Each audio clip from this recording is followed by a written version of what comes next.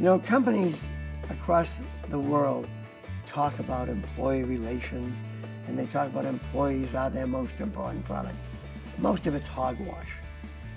Most of them don't really believe in training and building teams and investing in people.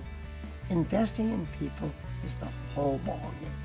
When you invest in people and when you give them your trust and they give you their trust and you both drive towards a common vision and you explain to them what's in it for them, not just where you're going.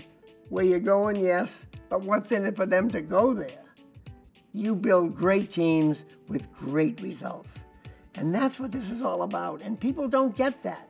People don't understand that you've got to invest in training. You've got to invest, to, you've got to get the culture that's common, the values that are common, so that people know where they're going and why they're going there.